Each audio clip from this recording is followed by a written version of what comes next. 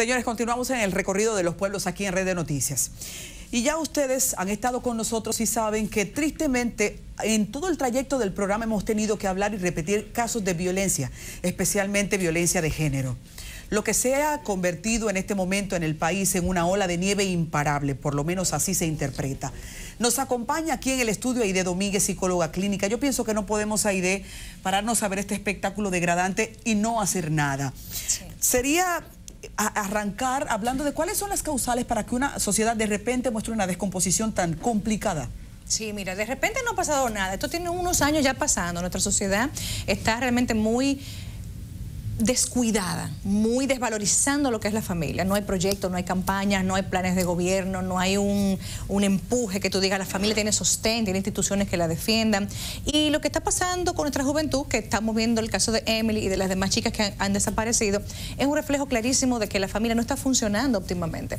¿Dónde no está funcionando? Primero que nada en la gerencia de los padres. Padres que no ejercen una autoridad, padres que no ponen límites, que no ponen reglas, normas de comportamiento y los hijos hacen y deshacen.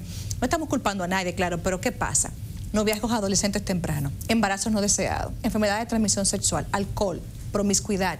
Todo esto es producto de una familia que no está cumpliendo el rol preventivo y de contención que todo joven debe tener.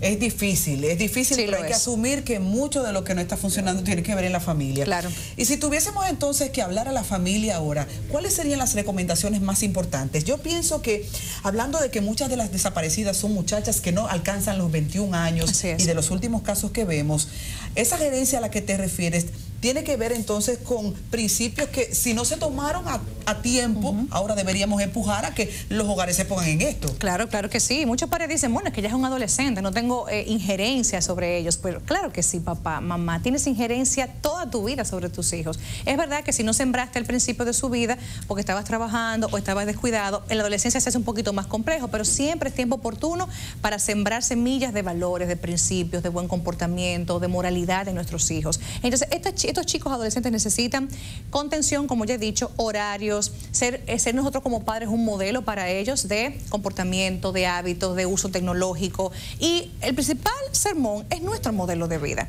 Obviamente que sí podemos hacerlo con voluntad y con mucho afecto, porque muchas veces, Adis, a los jóvenes nada más les le ponen las reglas y no hagas, y no te vistas, y no salgas. Pero, ¿y el afecto? ¿Dónde lo dejamos?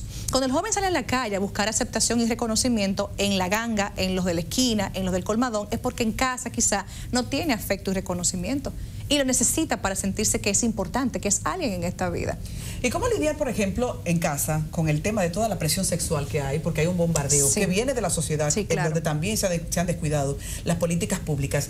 ¿Cómo podemos recomendar a los padres que lidien con la presión de que ellos no saben cuando sus hijos comienzan a tener experiencias sexuales, pero pueden de alguna manera comenzar a infiltrar formación, ¿verdad? Claro que sí, es que siempre la formación sexual es preventiva, debe ser preventiva, no cuando te sale embarazada, no cuando tiene una infección de transmisión sexual. Los padres tienen que saber que los hijos informados sexualmente son chicos que van a prevenir, que van a caer en la sexualidad, pero quizá más tarde, que el chico que no sabe nada y que cree que se la sabe todas. La formación en casa es fundamental para evitar todas las consecuencias de una sexualidad irresponsable e impulsiva, como regularmente es la, sexualidad adolescente. O sea, que perdamos el miedo. Si tienes temor o no sabes cómo hablar con tus hijos de sexualidad, busca ayuda, lee, busca tutoriales, hay programas instructivos sobre eso. Pero indiscutiblemente, Adis, nuestros hijos necesitan que les hablemos de sexo, de prevención, de métodos anticonceptivos, de las enfermedades que hay y de lo que implica tener un hijo sin estarlo buscando. Ay, Dios mío. Educación sexual. Y claro, los medios, música, videos, películas, tienen una influencia poderosa, pero yo creo que más poder tenemos nosotros como padres que las estrellas de televisión inescrupulosas y promiscuas si somos un ejemplo a seguir para nuestros hijos. y, para, lo irremediable, para lo irremediable. Si, si mi hija salió embarazada, ¿Cómo yo puedo manejar la situación? Es difícil, es complejo. Hemos manejado en oficina muchos casos similares. Lo que recomendamos es aceptación del hecho, no practicar el aborto. La niña necesita entender que su consecuencia, que su consecuencia de embarazarse, tiene que afrontarla. Es que yo he visto también lo siguiente, Ades. Se embaraza una vez y se sigue embarazando. Y se sigue embarazando. O sea, vamos a apoyar, vamos a ¿y cómo educar. para que no pase así? Como yo te apoyo, pero no puede pasar la próxima. No puede pasar de nuevo. Obviamente ponerle reglas claras, ponerle limitaciones. O sea, te vamos a apoyar en este embarazo, pero yo quiero que tú te cuides en lo adelante, que tú te protejas, que tengas cuidado, que vigiles con quién te vas a acostar o que evites acostarte y que este hijo te vamos a ayudar, pero no podemos ayudarte con otro. Eh, con una hija que tiene una contención así, una limitación así, tiene que haber una, una captación del mensaje. Y por supuesto, en padres que tengan una relación con esa hija, es una interacción importante. Y yo no puedo dejar de preguntarte, ¿cuál sería el, equilibrio que podemos encontrar cuando los muchachos quieren noviarse muy temprano? Hay quienes, quienes entienden que sí, que no. ¿Qué, se recomienda? ¿Qué es un noviazgo? ¿Un preámbulo o un matrimonio? El enamoramiento adolescente es fortuito, es a lo que va y que viene. ¿Qué hace un niño 12, 13, 14 años con un noviazgo?